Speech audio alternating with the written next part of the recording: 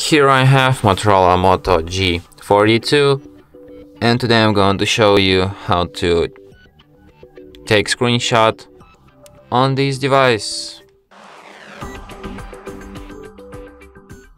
So to do this all you need to do is to just hold down power key plus volume down at the same time.